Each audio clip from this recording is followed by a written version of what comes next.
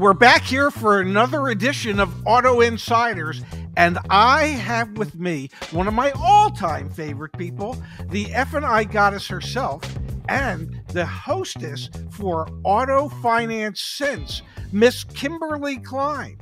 Miss Kimberly, how are you today?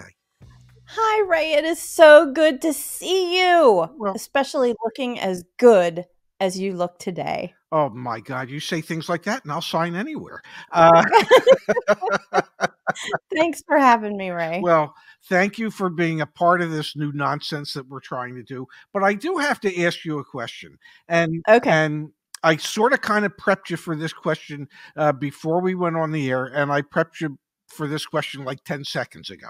So the question basically is: everybody knows you as Kimberly Kline, the, the finance and insurance goddess. Okay, but you know what? There was a Kimberly Kline before that. Who who is Kimberly Kline? I mean, who are you? Where'd you come from? How'd you how'd you get to be a big part of my life? oh, right. Um, well, I was born. No, I'm not going to start there. I, I will start um, what I did before I got into automotive. Okay. So maybe that'll help. Um, before I get into automotive, I was living in Cleveland, Ohio, and uh, raising my son. Um, I was the manager of a mortgage title company. Okay. And so that mortgage title company asked me to open a branch in Baltimore, in Ellicott City, Maryland, Oh. just outside of Baltimore. Yes, beautiful area. Yeah, it it really Yes. is. Um, now I'm originally from a tri-state area of northern West Virginia, so West Virginia, Pennsylvania, and Maryland. Gotcha. And so lots of family living back here. My son at the time had an opportunity to go abroad and do some schooling. Mhm. So when he did that, then I came back home and I opened up that branch in Ellicott City for a mortgage title company. So that's a lot of paperwork. Yes. It's a lot of loans that you're going through. Um, A lot of for me- compliance.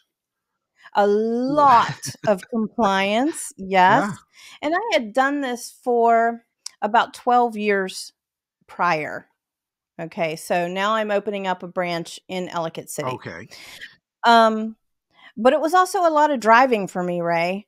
And you know the roads around here They're terrible. to take yeah, to take 70 into the city every day took me over an hour Mm, and that's on a good day. Yeah. And boy, did that really, you know, it didn't take too long before I realized this is not for me. And so my mother was at the time working for Blue Cross Blue Shield. okay. She knew old Mr. Hamilton, rest his soul, old Mr. Hamilton, who owned Hamilton Nissan in Maryland Gotcha. and said, Hey, why don't you go ask old Mr. Hamilton if you can get a job there? And so in I went, and uh, that's where I got thrown into automotive finance management at the end of a month, right? Uh-huh. In springtime.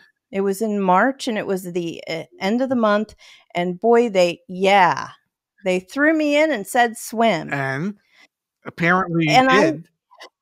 I oh my goodness, there were so many times I was barely holding my head above water, but that's where I started was at a Nissan store in 2002.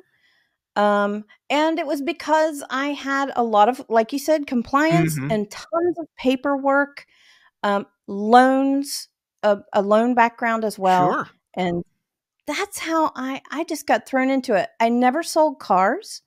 I was never a sales manager. Okay. Um, I went straight into F and I. Yeah. Okay. Um, and and to do that in March, which is for those that don't know, March is the absolute beginning of the spring selling season, and March is one of the busiest months, especially on the East Coast, um, in the automobile industry. It is. It, it it's like come March first, somebody hit a switch that said, "Okay, Mhm. customers allowed to come back in now," and and thousands of them do, and so to not have a lot of training for the F and I side of things to be thrown into that at the end of a month like March must have been Oh, yeah. absolutely crazy. I, I mean, I, I would imagine your arms must have been tired from trying to stay Yeah. afloat. As they say in the business, hanging paper. Uh, yep, my arms were very tired hanging paper. And, um, but I'll tell you, I learned really fast. huh. I learned to love it. And Ray, I was much younger then. Uh, So I had lots and lots of energy and enthusiasm uh, to do that job. and and and did did you find that energy and enthusiasm waning over time? I know I did Yeah. in the sales side of things and sales manager side of things. It was like, oh my god, why am I doing this? yep, Um, absolutely. now, let me ask you a silly question if I can, because uh, I, I'm nothing if not silly questions. So, in in mortgage titles and all that, I mean, and compliance, there must have been times where I don't know people signed for things and maybe they weren't as truthful as they should have been or maybe something wasn't as compliant as it should have been can you recall any times in in the mortgage title company side of things where like there was a, a giant ass issue that popped up and it was like oh my god how do we get this corrected Well, there's always a form for that, Ray. yes There's a form for errors and everything. omissions Errors and omissions. That's right. But I will share an experience with you because I went through um, l- the 90s Mhm. in Cleveland. okay And that's whenever, um, oh my gosh, the prices were just skyrocketing and people were just sucking the equity out of their out of their homes to pay off credit card debt.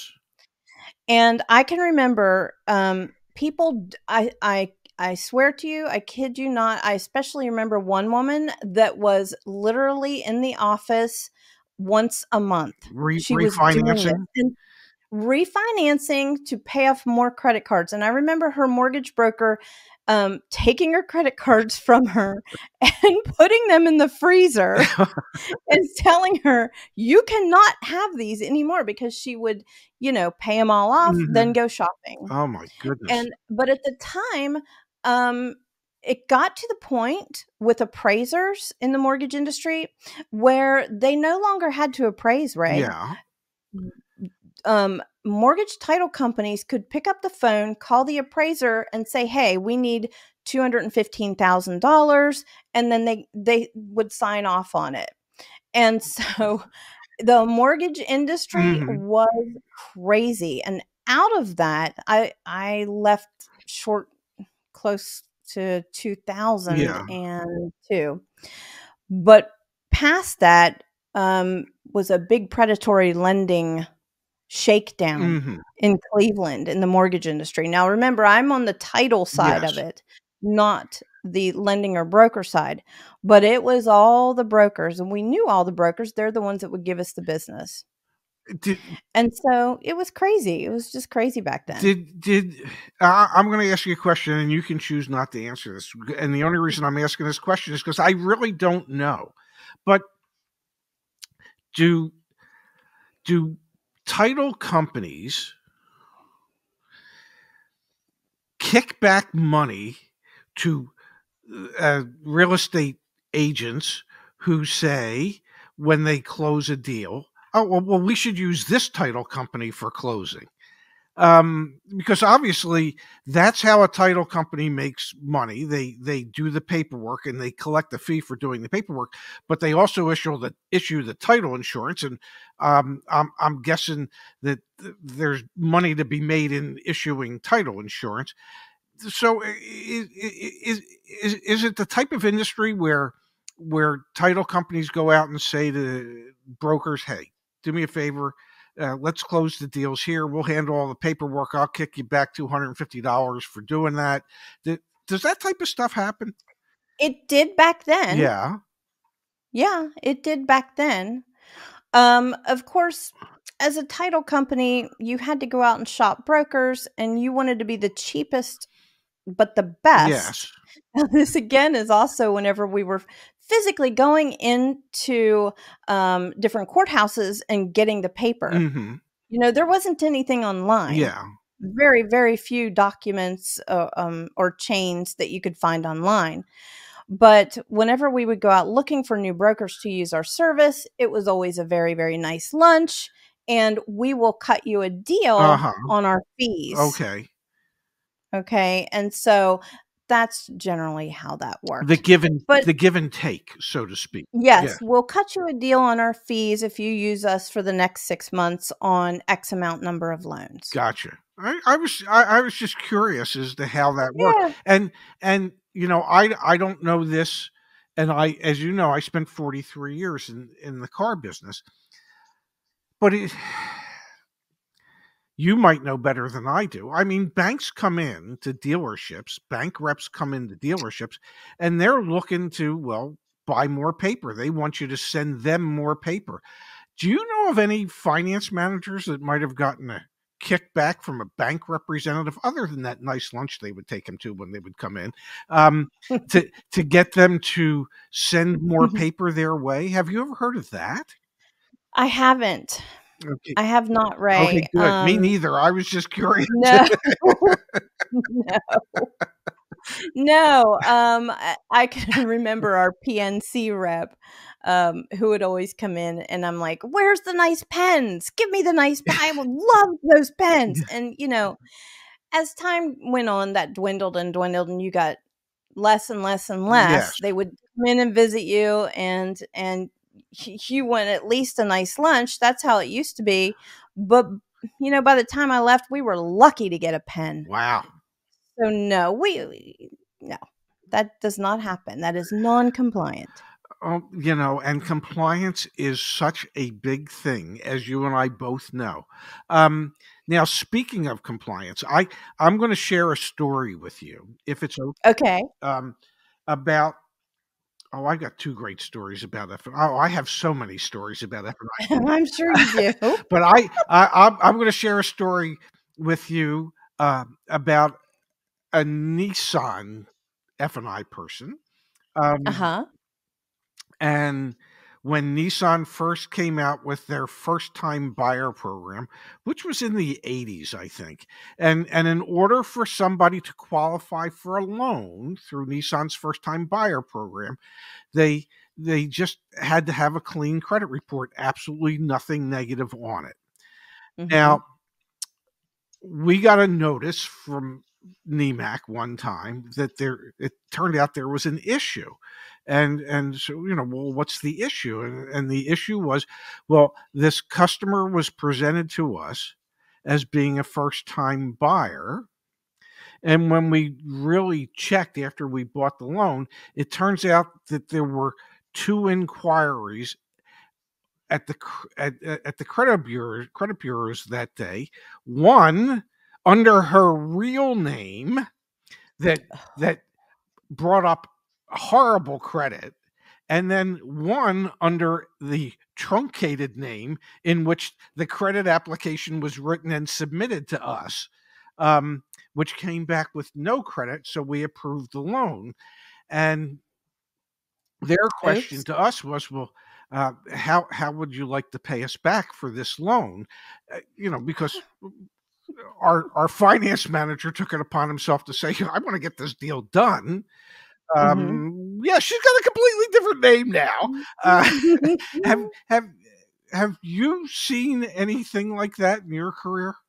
Not that you would do anything like that, but have you seen others that were F and I managers or sales managers or even salespeople pull try and pull stuff like that?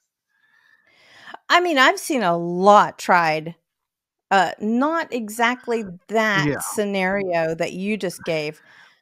Oh boy, do I have stories. um, but You're not but to share.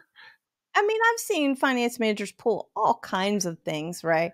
That's interesting. Yeah. I've often, um, especially in the early days, had people come in with different names, Yes. all kinds of different names. And eh, luckily, we've gone through time where, you know, um, do you remember the day, Ray, when identity theft wasn't a thing? Um, you mean be, be- before identity theft. Yeah, I, I hell, I re- I remember the day. Okay, you're you're not going to believe this, but I remember the day where I would actually take a credit application from a customer. I would ask them their name and their. I would fill out the credit oh application. yes, Now wait a second. yes. Wait a this it's this this gets even better. this was before fax machines. So what we had to do is we actually had to call the bank. Okay, and we had to Okay. call our buyers and and the buyer would sit on their side of the phone and say, "What's the customer's name?" and they would fill out the credit application on their side. So you'd have to spell everything out Oh my gosh. the name, the date of birth, the social security number, everything. Every I mean, and and uh, and I'll never forget the name of the gentleman that was the buyer at the bank. I don't know if he's still alive or not. Dick Peterman, um, or as I used to call him, Dick Peter Person. Um, and and I would I would have to read the application to to him every time we submitted an app. So, you know, literally it took 10 or 15 minutes, not 10 or 15 seconds to get an Mhm. app submitted. It Yeah. yeah, that was crazy. It was crazy. We used to fax fax. Now I was there when we, there was a fax, Uh-huh. but albeit it was thermal paper fax. Uh-huh. Okay, so we're talking early fax machines here, thermal paper. I, I got And even we had- earlier. but go ahead. Yeah, You're like pre-fax. but when we got fax machines and we had thermal paper and um yeah, we had to fax the applications over. Now, as you said, we would write the information down. What's your name? Mhm. What's it, you know, we did that. Yes. Not the not the customer on a computer screen or anything. No, we did that. Yes. Um Did did, But- did you change your policies later as opposed to having salespeople uh, ask the questions and fill out the credit application? Did you change it to uh, you would hand the credit application to the customer and have them fill it out so that if Yeah. there was any fraud on there, it was their fraud, not your fraud? Yeah. yeah, you can definitely see if we had a timeline, Ray, you can see how the process processes changed Mhm. over over time. And then what would happen is um, everybody would get up and leave the table after, okay, so we're going to hand over the application so the consumer can fill it Yeah. out. Yay. But then everybody gets up and leaves the table and there's a credit application laying on the table in the showroom. And then what happens after that? Well, we've got new processes coming out too. So it's definitely a timeline. I really like where we are now.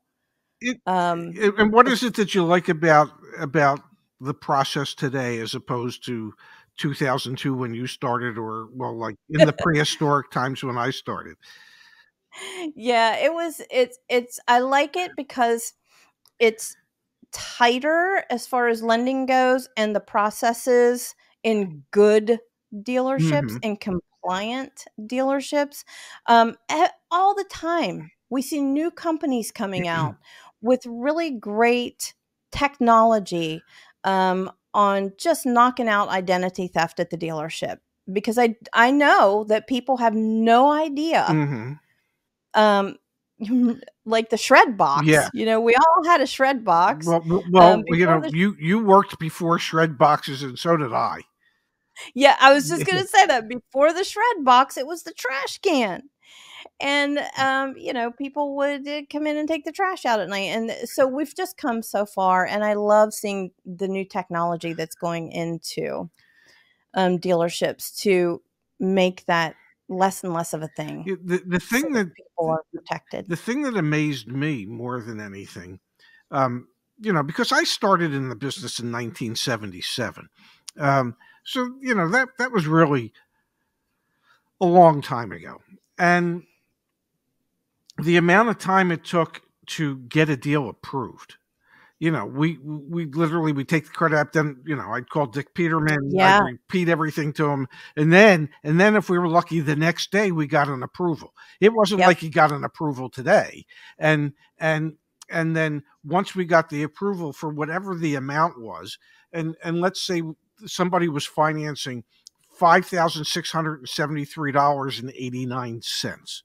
Okay, doesn't sound hard, except in those days, literally, uh, you had a a book, a a notebook type of thing, and Mhm. it had various interest rates three percent three and a half three and a quarter whatever it was so if if somebody was approved for five thousand six hundred seventy three dollars and eighty nine cents at three percent you would turn to the page in the book that was three percent and then you would look up five thousand dollars and you would have to see what the charge was for five thousand dollars, what the what the char- interest charge was, and you'd have to write all that down. Then you'd have to go to uh, seven hundred dollars.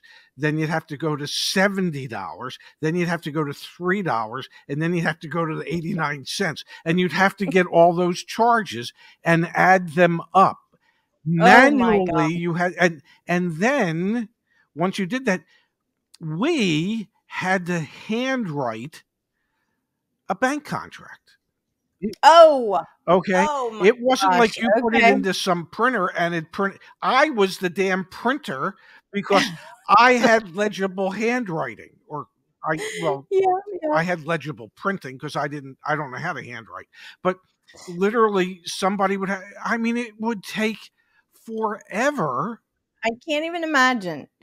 I can't even imagine not having my big ADP printer beside me.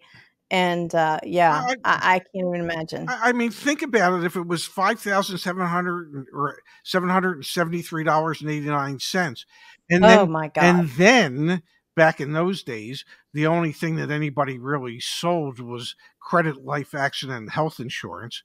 Well, if Mhm. you sold somebody on that, then you had to add all that up and see what your new Oh. financed amount was. And then you'd have to start adding all those damn columns up again so that you could hand print another contract. Well, let me tell you, nobody was interested in selling anything at that point because who wanted to have to handwrite another contract? oh my gosh! Yeah. I mean, Oh my gosh! I, I don't want to say you had it easy. I think I did, Ray. I think I did. Yeah, I'm pretty sure you, you had you had some form of fax machine, whether it had been thermal paper or not. You had big Yep. ass printers that could that could actually print up a contract for you in a matter of moments, Yep. uh, uh, as opposed to me getting the cramp in my fingers as I was trying to write the whole thing out. Uh, and God forbid you made an addition error anywhere on the contract, and it's like, oh shit, I got to start over. you know, it was those were some crazy times that I started in the business. Oh yes, yes.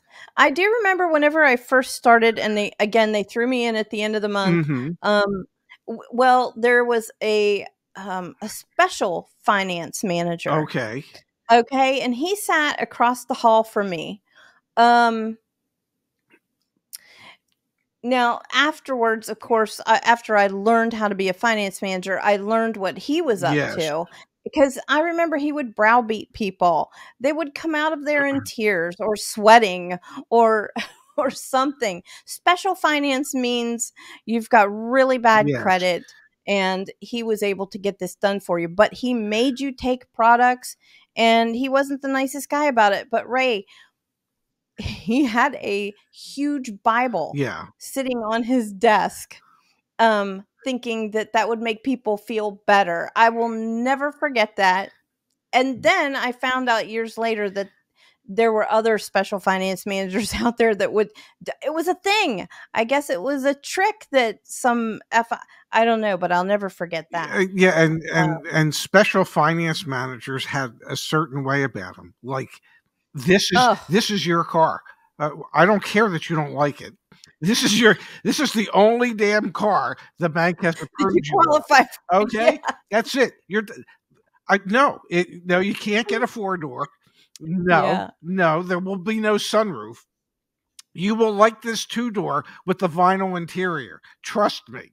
And in yeah and you come back in six months and make all your payments, and we'll do our best to get you out of it and put you into what you really want. And that's how they. That's how special finance operated. It it was very loose back in the day. Yes. That's for sure. Yes, and and and then there were some uh, special finance managers that really knew how to to work the banks and really um, got people approved that should have never been approved for anything Yeah. at all. You know, Absolutely. yeah. Yeah. You know, I I I I'll, I'll never forget. I worked with I worked with a uh, a finance manager one time, and I and I said, "Are we going to be able to do with anything with this guy?" And he just looked at me. He said, "He couldn't finance the steam off a hot dog." The steam off a hot dog. and I, and I thought, "Oh my god." You have to be really bad not to be able to do that. do, did you ever work at a time, and I did, unfortunately, um, where we actually, if somebody wanted a car and they didn't qualify for regular financing, we got them a, a second mortgage financing, where where we used their house as collateral to so they could qualify for the loan. So the house No, Yeah. I never did that, but I have heard about yeah. that. Oh my god. Yeah. I. You know this was this was when I first started. And I had no idea what was going on. Um, You know, Mhm. I was I I was the greenest of green peas, but they said we got we we've got a way to make this happen for you, and and they called in the uh, the the the mortgage guy who uh-huh. who wrote a second mortgage, and Oh my gosh. Yeah.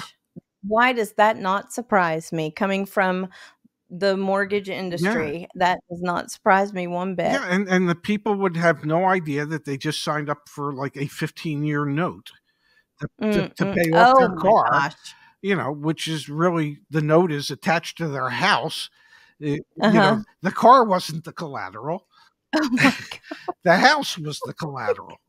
Uh, you know, Oh, Lord, I never dealt with that. Thank heavens. well, I, I am I am so thankful that you did not. It was, you know, when I started in the late 70s, I I was I was green. I had I had no idea. I I I didn't understand financing. I didn't understand mortgage. I didn't understand the car business, you know. And I and I said whatever my managers told me to say. Um, Mhm. Eventually, I I wised up and learned a little stuff and figured out there's a better way to do things than just parrot thieves. Uh, Yep. uh, gosh, can can I share another story that I can remember about an F and I manager? sure. and, I would love and that. see what it might trigger for you. Um, okay. I, I remember I remember walking into an FI manager's office one time, and he had uh, uh, uh, IRS 1040 forms.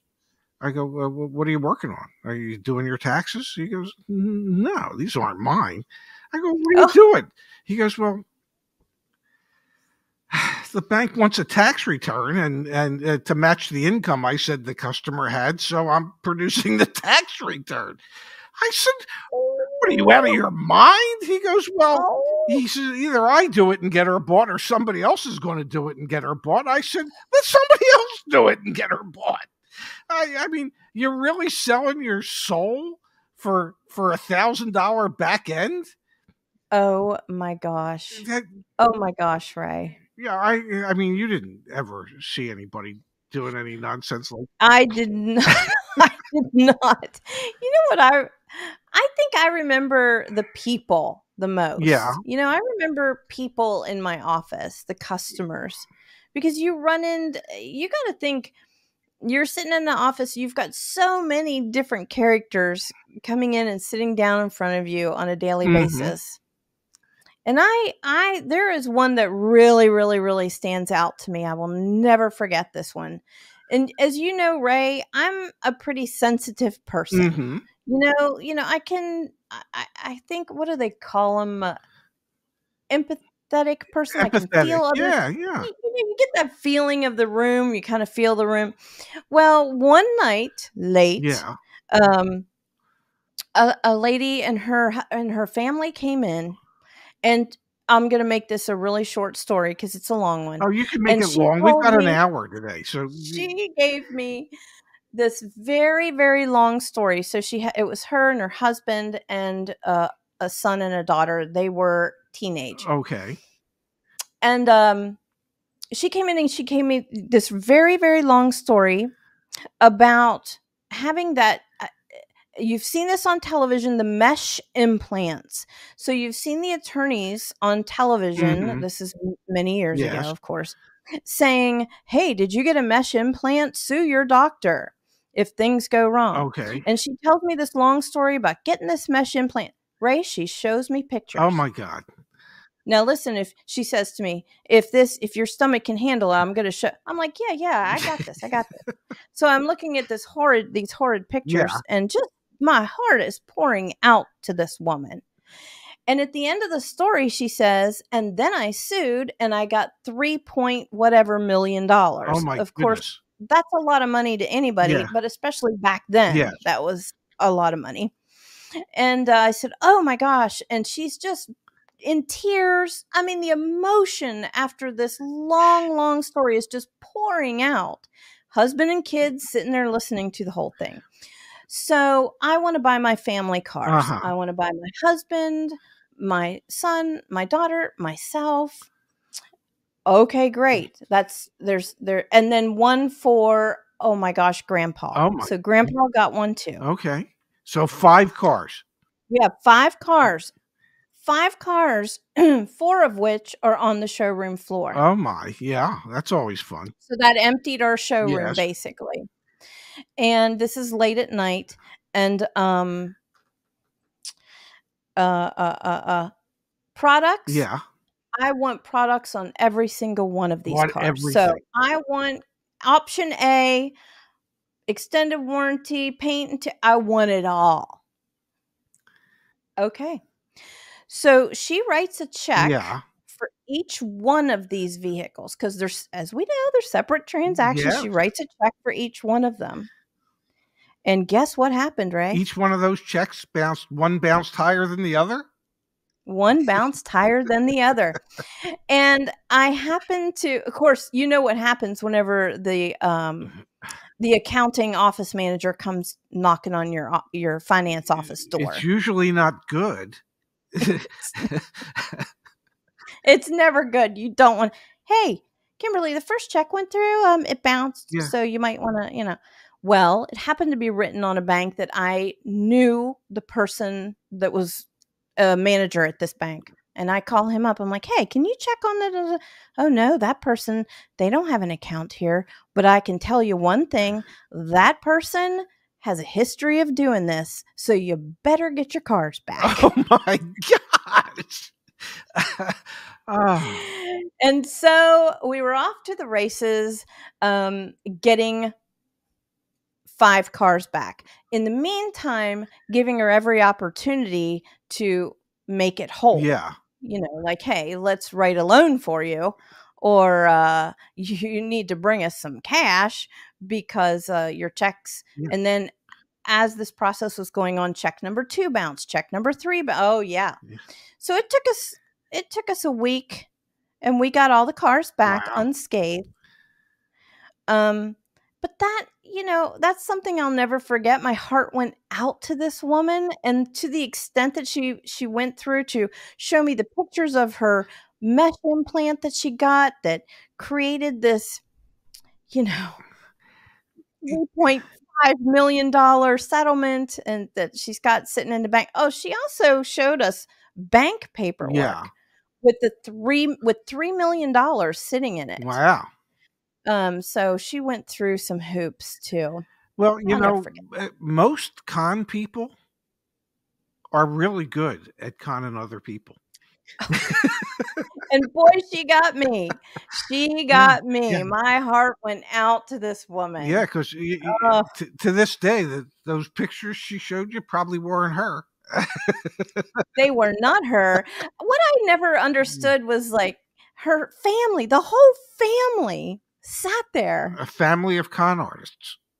Oh my gosh. Yeah, Oh my gosh. that is that is quite the tale. I I, I remember in in Scottsdale when I was at the Acura store, and across the street from our Acura store was our uh, Porsche, Rolls Royce, and uh, Jaguar store, and we we had these young people.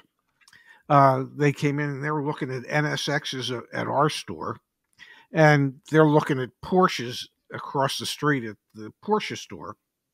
And it's, you know, this was in the early 2000s, 2001 maybe. You know, the internet boom had started, and you know there were a lot of internet millionaires, and and so the these these kids were con artists, um, and oh yeah, we we made all our money on this uh, website, and oh yeah, the amount of clicks we're getting and the amount of money we're making, and they tried to buy three Porsches at the Porsche store and two NSXs at our store, and they had just printed up checks okay, on a non existent bank account from a non existent bank. And, and my F&I manager, God bless her, she was ready to take them. I said, "What's the name on that mm. account? What what bank? I've never heard of that bank. Can we look up and mm-hmm. see if mm-hmm. that bank even exists?" Well, yeah. Ultimately, what happened is the three kids got arrested um, for for p- passing bad checks and trying to commit fraud. Um, but it's it's your story just reminds me that there's con con artists everywhere, and they use whatever is available at at the. I, I had a salesman, okay, who worked for me in Atlantic City, who allegedly his wife was a former Canadian uh, ice skating champion. Okay, and okay, and and he was from Philadelphia, and this was in the early 80s when there was a tremendous amount of mob violence in Philadelphia. Angelo Bruno was killed, uh, a number of high profile um, organized crime figures were were killed. And mm-hmm. one of them was a fellow by the name of Phil Chicken Man Testa. And and the way he died is um, they had put nails a nail bomb in his screen door so that when he opened the screen door, oh, the Lord. nail bomb exploded. Oh my gosh. And killed him.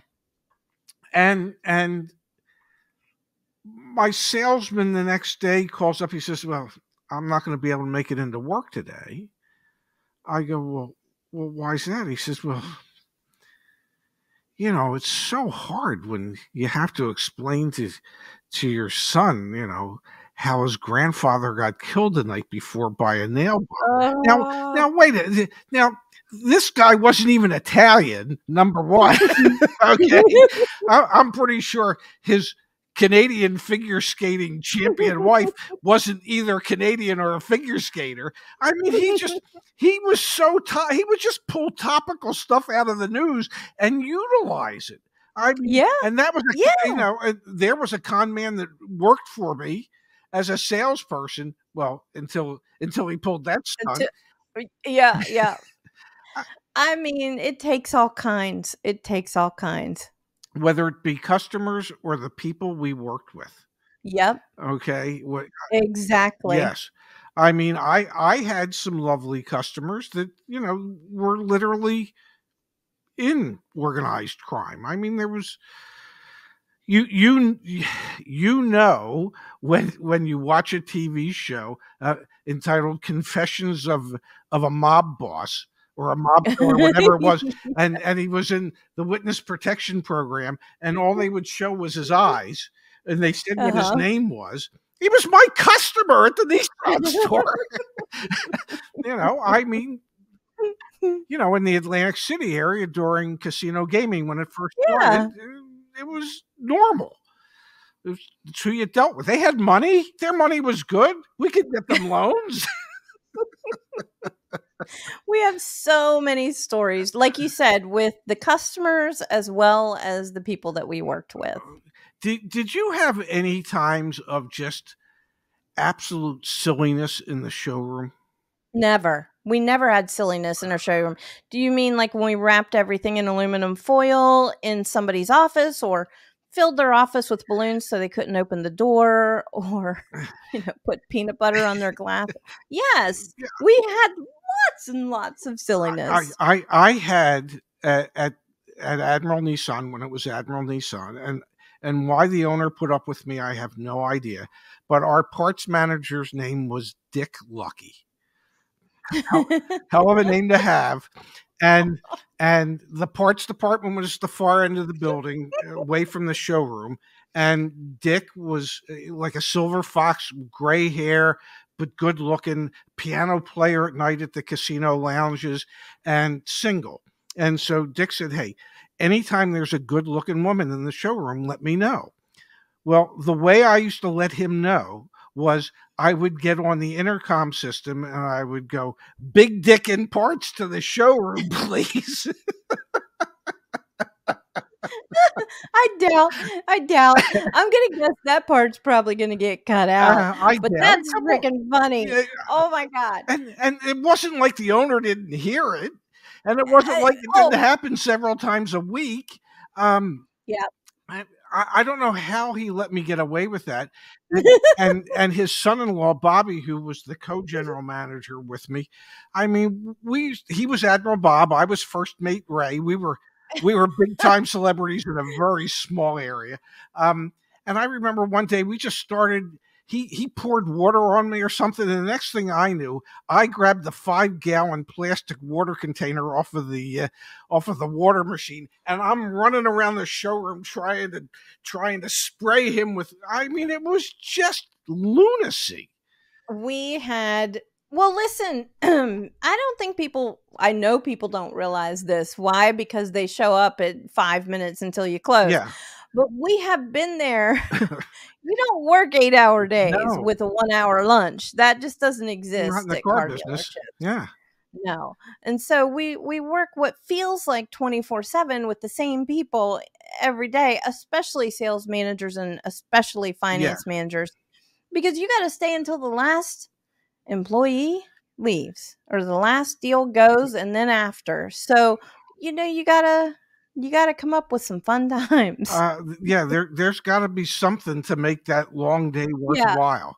Um, and and it wasn't always the paycheck; it was oftentimes just the nonsense that that would Yep. go on during the course of the day. I know as managers at the Nissan store, one Monday a month after work.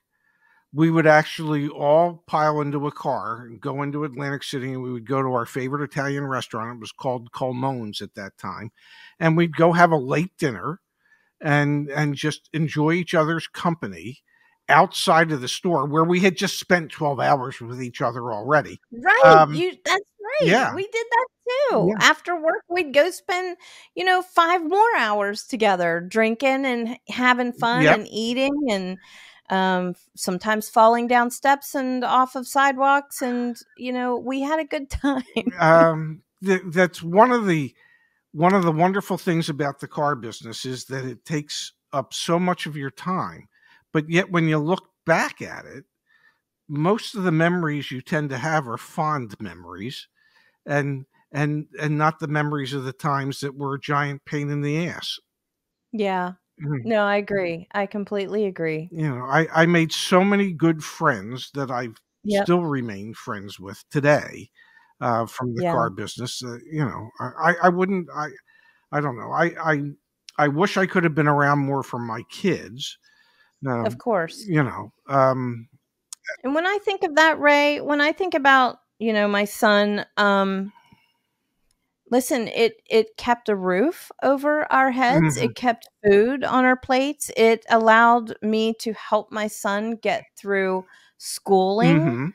and um and not want for anything. And uh yeah, it, it it's definitely a time suck, but at the same time it it did all those things as well. yeah, it's, it's, it's a unique, it takes a unique breed of person to do what you did, to do what I did, to to be involved in that type of atmosphere 12 hours a day.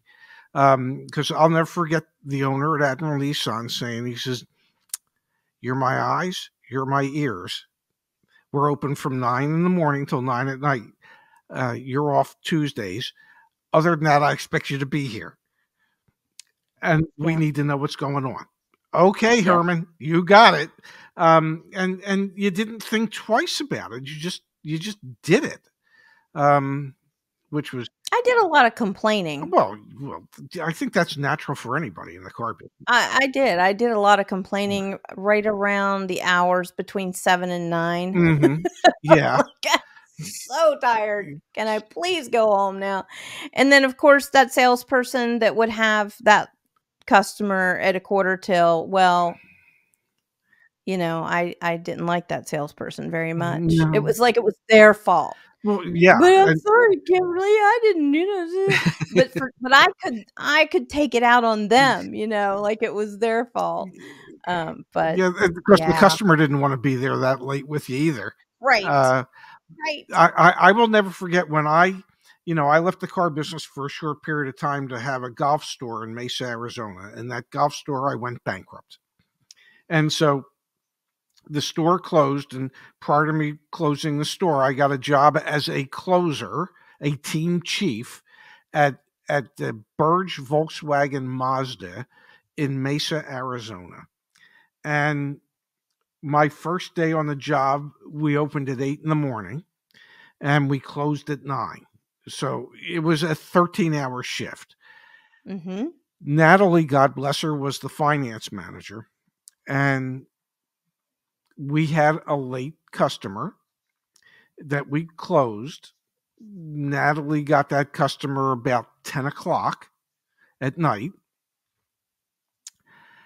And I remember that we left the store about one o'clock in the morning because mm-hmm. Natalie was not going to let this customer go without them buying something or mm-hmm.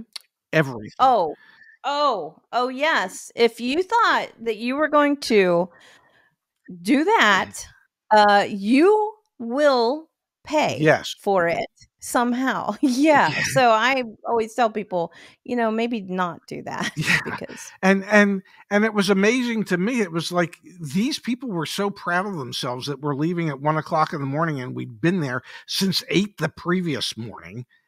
Mm-hmm. And I'm thinking, they're these people are nuts.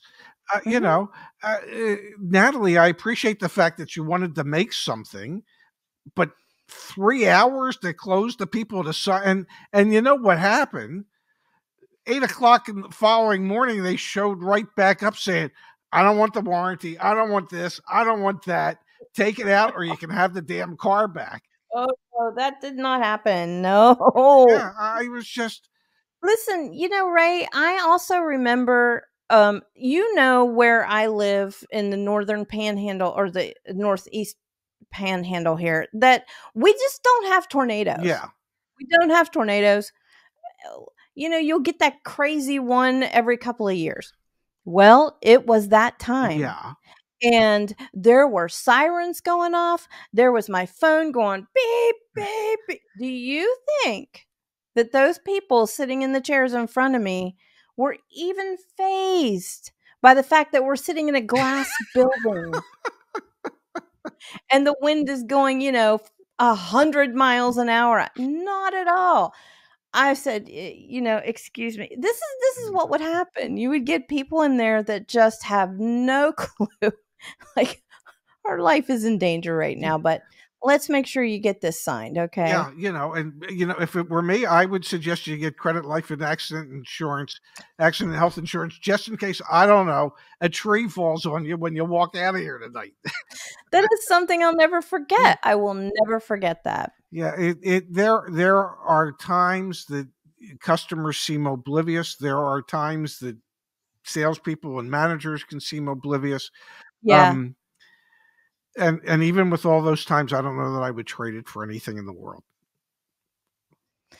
Yeah, mm. yeah. yeah. It it went by really quick too. It did. Whenever you look back, you it went slow. Mm. Those days you know, but now I look back on it and oh my gosh, it went so fast. Hey, Kimberly, can you do me one small favor? Yeah. Can you share with people what you're doing today and how I don't know they might be able to follow what it is that you're doing and and and well how they Yeah. can how they can educate themselves by following what it is that you're doing? I absolutely can. So, I, and I get asked this a lot like are you still working at the dealer? No. I I left the dealership late 2019. Uh, this was after got my kid through school and um and I was tired. Mhm. And so I left, but immediately after Ray, I started helping um my son's friends. Yes. Oh my gosh, don't do this. Oh, you have to do that. And the next thing you know, I'm on the phone with them while they're in front of the finance manager. And then my family's doing the same thing and I just had this this is what I must do is help people through the finance Mhm. office at the dealership.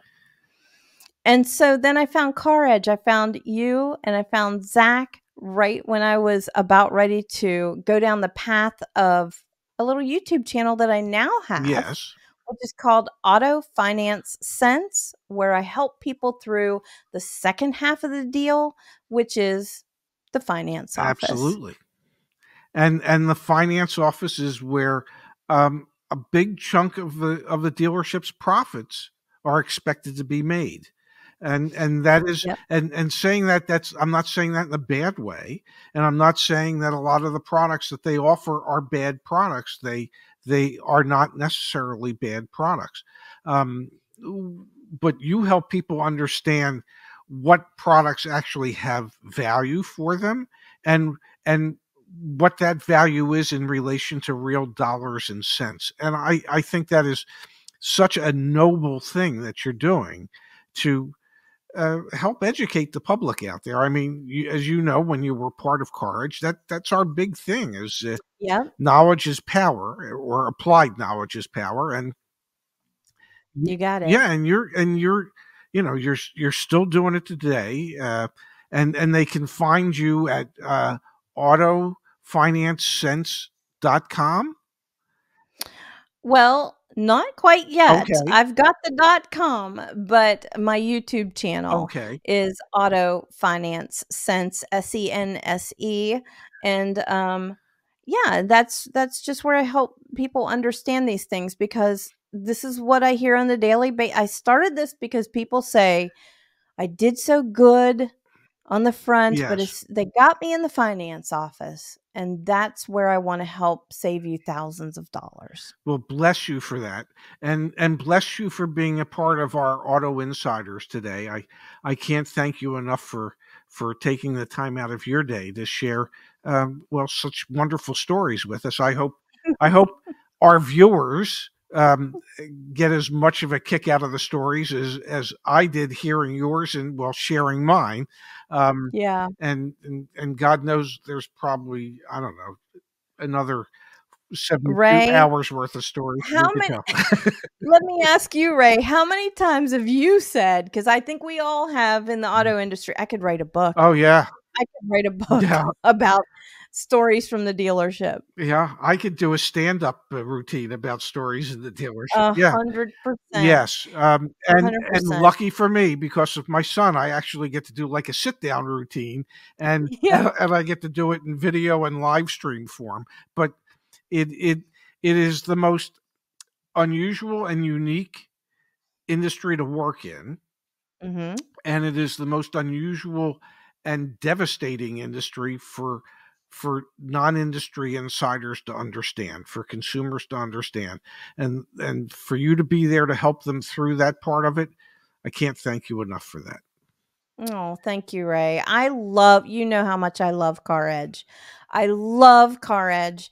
Um, I love what they do. They are the only ones out there helping people through the car buying process genuinely. And boy, was I fortunate to come across come across you and Zach.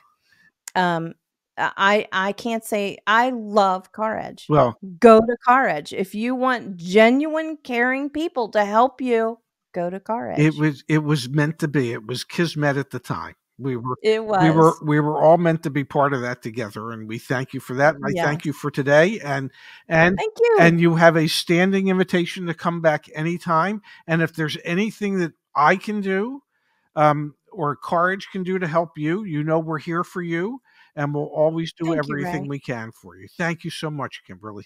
Thank you, Ray. You have a good evening. You too.